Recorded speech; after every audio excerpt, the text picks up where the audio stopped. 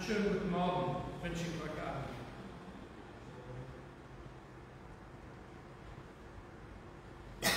Ich grüße euch mit dem Wochenspruch für den heutigen Sonntag, wie er geschrieben steht in Lukas Evangelium, Kapitel 13, Vers 29. Es werden kommen von Osten und von Westen, von Norden und von Süden, die zum Tisch sitzen werden in Gottes Reich. Ich möchte nur folgende Ankündigung machen. Der neue Raffle ist am Gange, ist ein Valentine's Temple Raffle, der am Gange ist. Wir laden jetzt nicht äh, von den Listen bei uns, Lucille Römer hat die Listen. Und dann wollen wir die folgenden Gemeindemitglieder Gebet halten, Robin Leben Meister, Trixie Steele und Marco Bürger. Und dann will Stephen Klopper und Familie sich bedanken für die ganzen Gebete. Seine Operation ist ganz gut gegangen, er ist zurzeit zu Hause. Unser nächster Gottesdienst, englischer Gottesdienst, findet am 29. Januar statt bei St. Crucis. Es ist ein Gottesdienst, der zusammengehalten wird mit St. Crucis. Es ein 8.30 Uhr Gottesdienst mit Abendmahl und der Wecker halten euch, was wir Frank Schütte. Ich und Bettina sind weg von 26. Januar 4. Februar. Gemäß der Kirchenleitung Sitzung ich habe andere Versammlungen in Kapstadt auch mit anderen Gemeinden und danach haben wir eine Jüauxer Versammlung. So wir werden, ich werde erst am 4. Sonntag. Ja, so ich fliege am 3. und ich zurück und Bettina ist erst etwas später zurück, sie kommt aus ein paar Tage Urlaub. So wenn ihr uns nicht gleich in die Hände kriegt und es sehr dringend ist, bitte Christen. Das sind die Akten. Der dritte Sonntag nach Epiphanias. Da werden wir daran erinnert durch die Erzählung von Hauptmann an Kapernaum. Da werden wir aufmerksam gemacht, wie Gott nicht nur in seinem Volk, sondern auch unter den Heiden wunderbare Dinge tut. Wir müssen auch selbst erkennen, dass wir nicht zum jüdischen Volk gehören. Und deswegen können wir Gott danken, dass er uns durch Jesus zum Miterben seines Volkes berufen hat. So alles, was wir tun und empfangen, alles, was wir hören, alles, was wir bitten, alles geschehe im Namen des Gottes, des Vaters, des Sohnes und des Heiligen Geistes. Amen. Lasst uns nun diesen Gottesdienst anfangen. Das erste Lied, Nummer 66, die Verse 1 bis 3. Jesus ist kommen von ewiger Freude.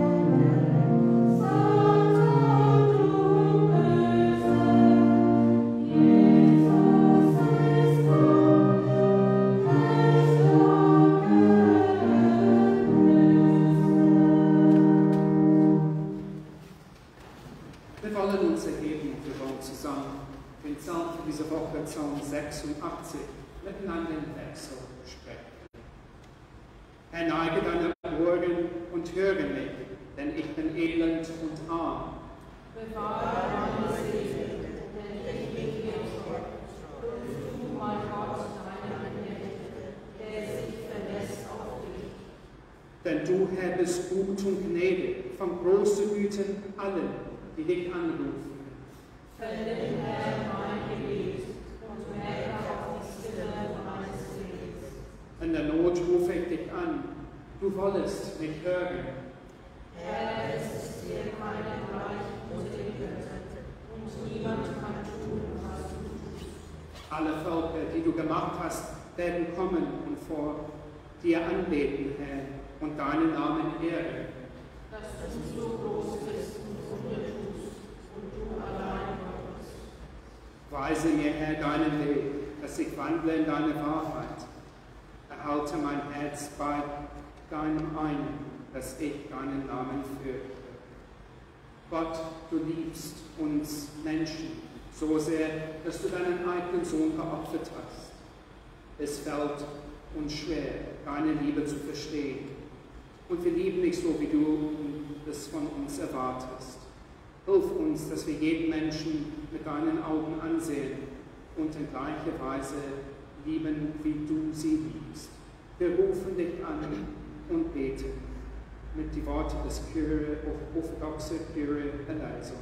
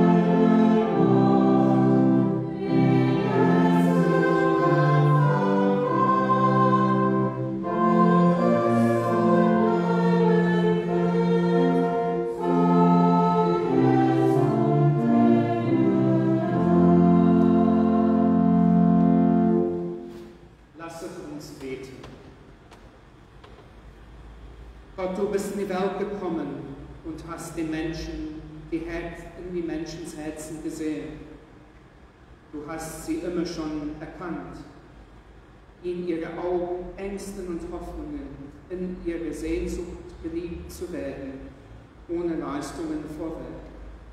Frauen, Kinder, Betrüger, aussätzige Menschen ohne öffentliche Rechte hast du ins Recht gestellt durch deine Liebe, durch deinen Sohn. Das gilt auch bis heute und dafür danken wir dir.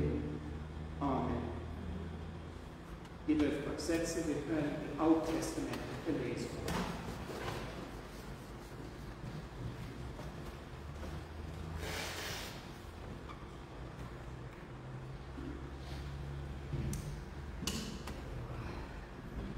heutige Liste auf dem heutigen Sonntag ist vom Alten Testament die Könige.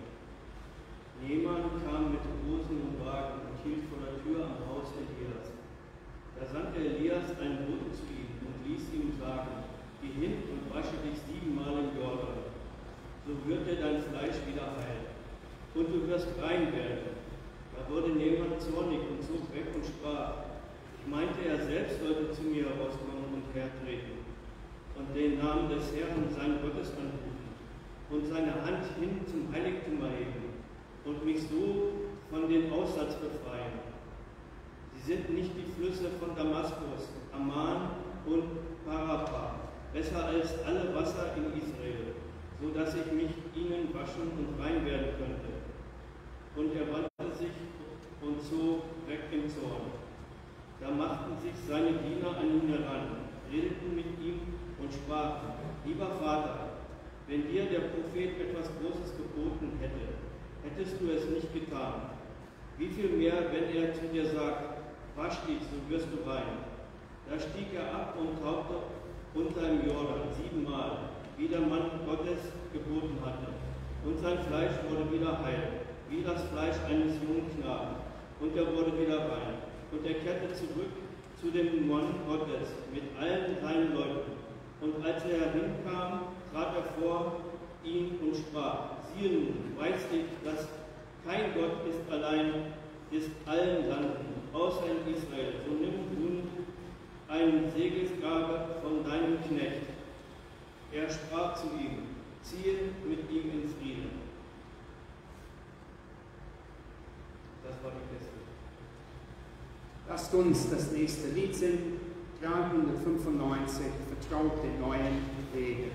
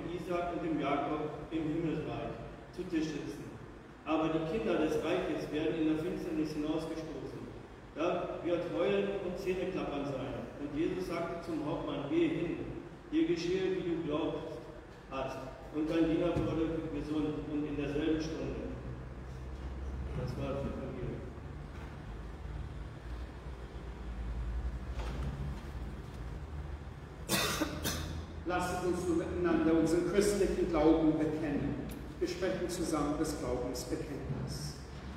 Ich glaube an Gott, den Vater, den Allmächtigen, den Schöpfer des Himmels und der Erde, und an Jesus Christus, seinen eingeborenen Sohn, unseren Herrn, empfangen durch den Heiligen Geist, geboren von der Jungfrau Maria, gelitten unter Pontius Pilatus, gekreuzigt, gestorben und begraben, hinabgestiegen in das Reich des Todes, am dritten Tage auferstanden von den Toten, aufgefahren in den Himmel.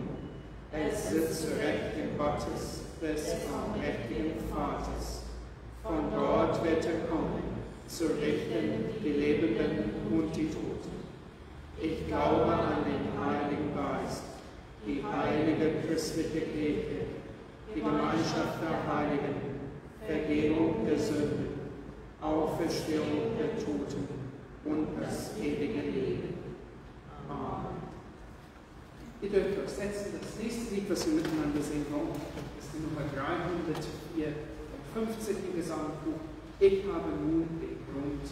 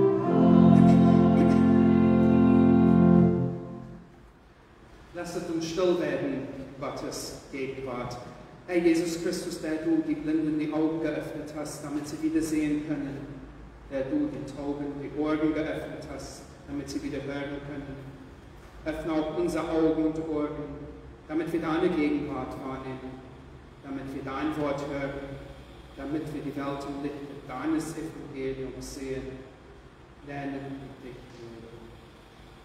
Und dann die Gnade unseres Herrn Jesu Christi, die Liebe Gottes und die Gemeinschaft des Heiligen Geistes sein euch allen. Amen. Liebe Gemeinde, diese letzte Woche war es ja sehr heiß gewesen. Und auf dem heißen Tag haben wir manchmal ein Power-Aid nötig. Das Slogan von Power-Aid heißt mehr Power für Sie. Wir haben ein Power-Aid nötig, um zu hydrisiert zu bleiben, damit unser Körper genug Vitamine und Elektrolyte bekommt, um uns durch den Tag zu helfen, um uns vorwärts zu treiben durch den Tag durch. Paulus heute Morgen in unserem Predigtext will uns daran erinnern, dass wir auch zu Gott kommen sollen und von Gottes Krafthilfe trinken sollen, die uns für unseren täglichen Leben stärkt. Unser heutiger Predigtext steht geschrieben am Brief an die Römer in Kapitel 1 und ich lese ab Vers 13. Ihr könnt euch gar nicht vorstellen, liebe Brüder und Schwestern, wie oft ich mir schon vorgenommen habe, zu euch zu kommen. Aber bis jetzt stand immer dem etwas im Weg. Nur allzu gerne würde ich bei euch sein, bei den anderen Menschen und Menschen für Christus gewinnen, denn ich fühle mich allein verpflichtet, ob sie nun unserem Kulturkreis angehören oder nicht, ob sie gebildet sind oder ungebildet sind. Soweit es an mir liegt, möchte ich bei euch in Rom die rettende Botschaft verkünden.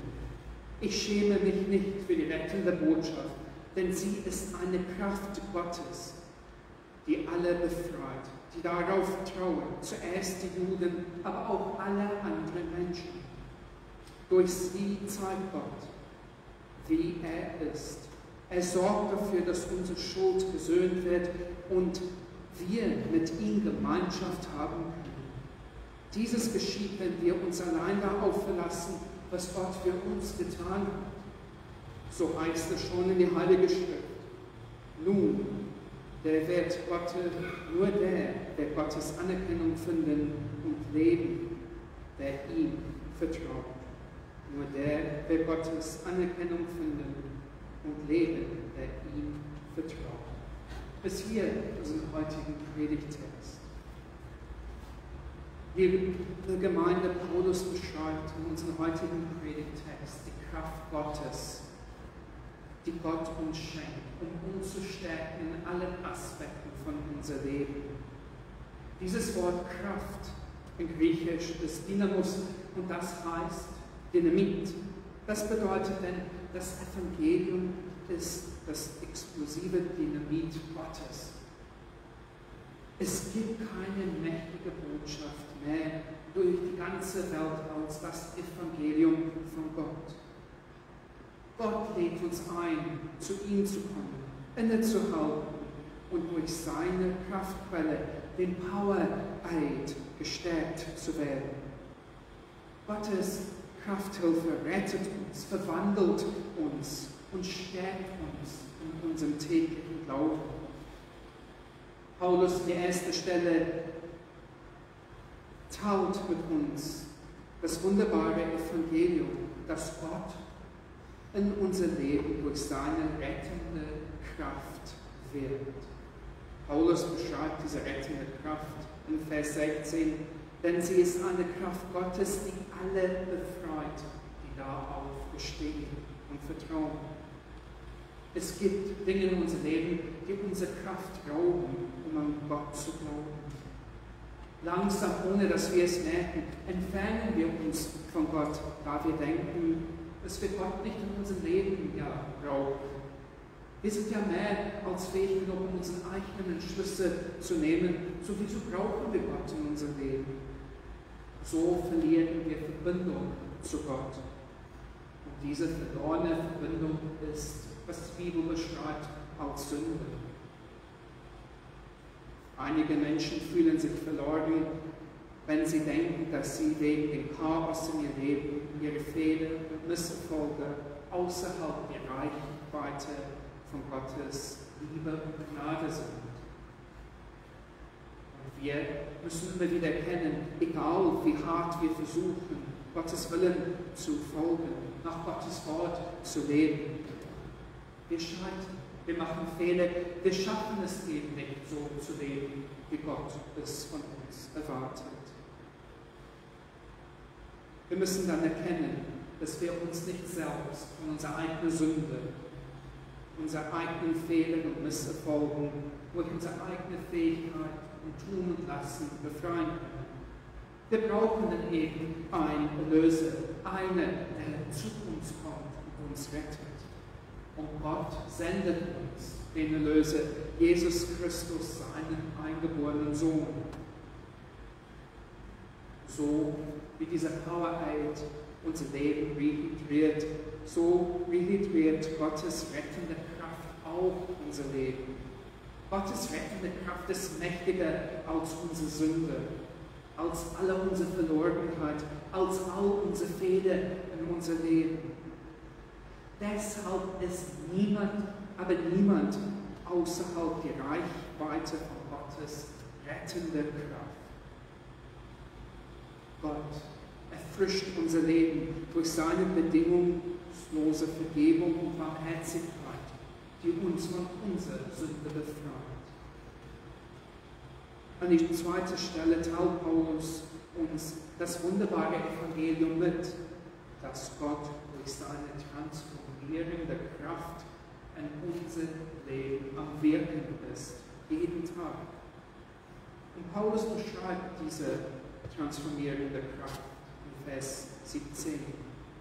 Gott sorgt dafür, dass unsere Schuld gesöhnt wird und wir mit ihm Gemeinschaft haben können. Ein Power-Aid gibt uns die Elektrolyte, die wir in unserem Leben gebrauchen, die wir verloren haben, damit unser Körper wieder so funktionieren kann, wie er soll. In einer ähnlichen Weise hilft Gott, Gottes transformierende Kraft uns, um so zu leben, wie Gott uns geschaffen hatte, so wie Gott es beabsichtigt hatte, in eine liebevolle Beziehung mit ihm als unserem Vater. Gott stellt unsere Beziehung wieder dahin, die wir durch unsere Sünde vernichtet haben. Gott lässt eben nicht zu, dass wir in unserer Sünde und verlorenen Zustand bleiben, sondern er transformiert unser Leben durch seine Liebe, seine Vergebung und macht uns annehmbar in seinen Augen durch die Liebe und die Vergebung, die wir von ihm empfangen. Diese Kraft Gottes, die unser Leben transformiert, verwandelt uns in ein Kind Gottes, das so tief geliebt wird und umsorgt wird. Und dann in die letzte Stelle traut Paulus uns das wunderbare Evangelium mit, dass Gott durch seine Kraft des Glaubens in unserem Leben täglich am Wirken ist. Wir leben jeden Tag von der Kraft des Glaubens von Gott, unserem Vater, alleine. Unser Körper braucht ja jeden Tag die richtigen Vitamine. Und wenn es so heißt, es verlieren wir von Vitaminen, deswegen trinken wir ja den Power-Aid. So ist es auch mit der Kraft des Glaubens. Wir empfangen die Kraft des Glaubens durch den Heiligen Geist. Der Heilige Geist hält unsere Beziehung zu Gott ausgleichend, gesund, indem er uns täglich über Gott und den Willen Gottes für unser Leben lernt. Der Heilige Geist sammelt uns auch mit anderen Brüdern und Schwestern zusammen in einer Gemeinde, damit wir uns gegenseitig unterstützen können und einander stärken können. Der Heilige Geist stärkt uns auch und hilft uns in den Momenten in unserem Leben, wo wir erleben, wo wir die Dinge erleben, die uns einfach machtlos machen die unsere Kraft von uns nehmen. Der Heilige Geist schenkt uns die Gewissheit. Gott ist immer mit uns und wir sind in einer Gemeinschaft. Deshalb sind wir nie alleine. Gott hält uns durch die Kraft des Glaubens in unsere Beziehung zu ihm ausgebalanciert. Liebe Gemeinde, das Evangelium ist in der Tat das explosive Dynamit, das mit uns die wunderbare Gewissheit teilen will, dass Gottes Kraft alles, was wir in unserem Leben nötig haben, dass Gottes Kraft uns durch unser ganzes Leben durchwirft. Und diese Kraft Gottes ist, Gott rettet uns durch seine Kraft. Gott transformiert unser Leben durch seine Kraft. Gott stärkt unser Leben durch den Glauben, Tag für Tag. Alles, was wir tun können, ist Gott danken und auch an Gott glauben. Und Glauben heißt, dass wir mit voller Akzeptanz und absolutem Vertrauen uns an Gott klemmen mit aller Kraft, die wir haben und nicht loslassen, auch wenn alles dagegen spricht. In der Tat gibt es keine Botschaft, die eine größere Lebensveränderung und die Ewigkeitsveränderungen Wirkung hat als das Evangelium von Gott. Deshalb erinnert Paulus uns ganz am Anfang unseres Predigtext daran, dass wir, die wir Gottes Kraft am Werk unser Leben erfahren haben, die Verpflichtung haben, diese Kraft des Evangeliums mit allen Menschen um uns herum zu teilen. Und Gott hat diese Verpflichtung uns anvertraut, damit mehr Menschen erfahren können, dass Gott der Allmächtige ist, der uns stärkt in unser Leben durch seine. Liebe Gemeinde, mögen wir diese Woche innehalten und zu Gott kommen und uns von Gottes Kraftrufe erfrischen lassen, die uns rettet, die uns transformiert, die uns stärkt, so dass wir diese explosive Kraft des Evangeliums, unseres Vaters Gottes, mit allen Menschen um uns herum teilen. Und der Friede Gottes, welcher höher ist als alle menschliche Vernunft, regiere und bewahre eure Herzen und Sinne in Jesus Christus, unserem Herrn. Das nächste Lied, das wir miteinander singen wollen, ist das Lied Nummer 407, Stern, auf den ich schaue. Und dieser Stern, auf den wir schauen, ist Jesus Christus. Er ist der Fels, auf dem wir stehen, unser Leben lang. Lasst uns singen.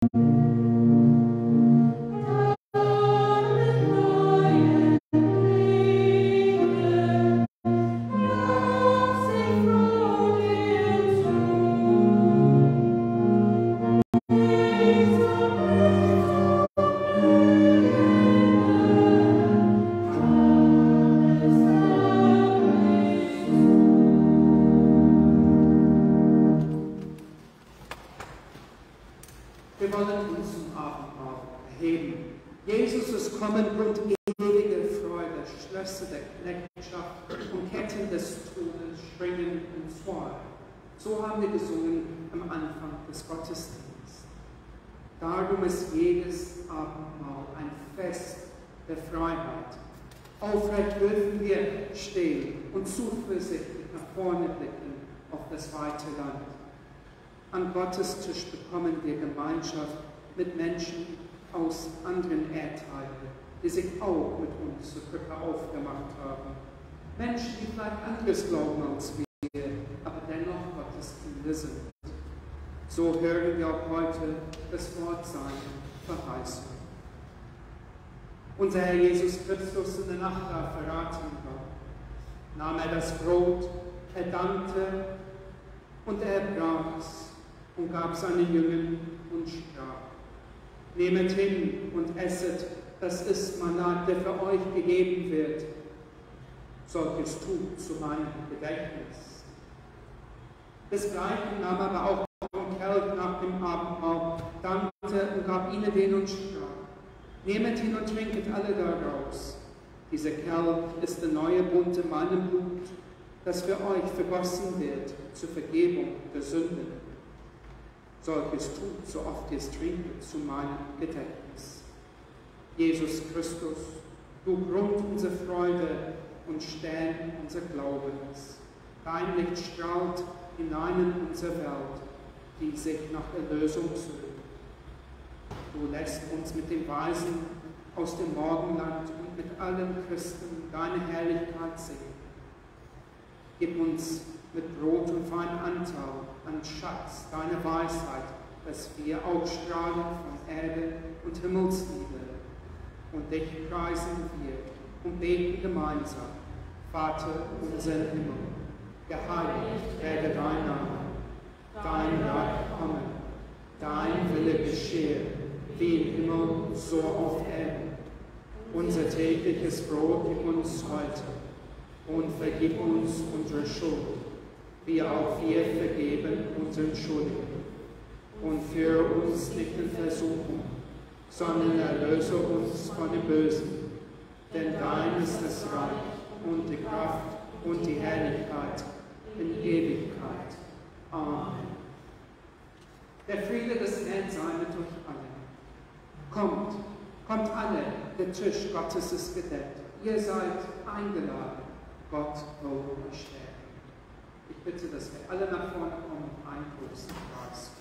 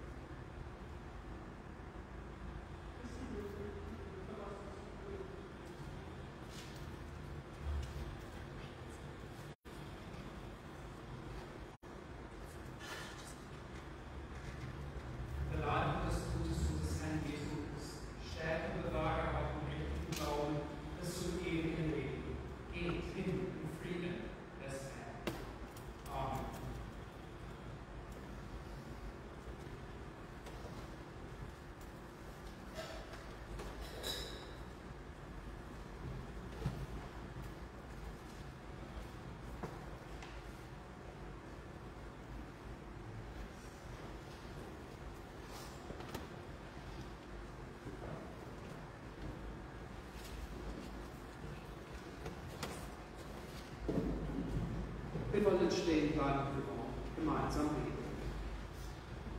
Gott, unser Vater, wir danken dir für die Arbeit deines heiligen Mahles, dass du uns durch dein Maul stärkst, dass du uns rettest, dass du unser Leben transformierst.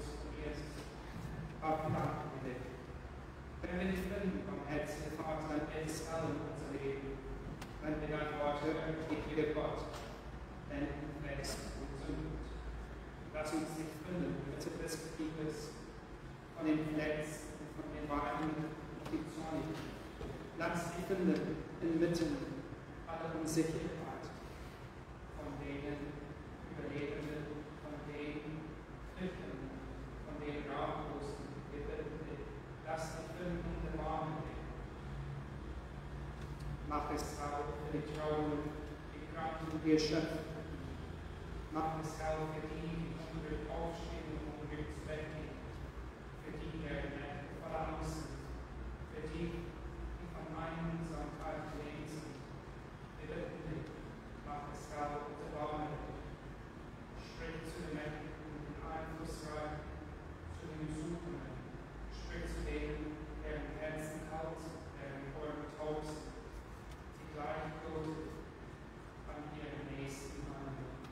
Wir dich, sprich und erbarme dich. Auf dein Leben stärkendes Wort warten. Wir vertrauen dich und dich. Sprich und Antwort heute und morgen und alle Tage, die kommen. Und alles wird gut. Dieses bitten wir in deinem Namen. Amen. empfangen nun den Segen des Herrn. Gott segne uns und behüte uns. Gott schütze unser Leben und bewahre unsere Hoffnung. Gott, lass dein Angesicht leuchten über uns, damit wir leuchten für andere. Gott, erhebe dein Angesicht auf uns und halte uns fest im Glauben. Das Leben lebendiger ist als der Tod. Es segne uns der Vater, der Sohn und der Heilige Geist.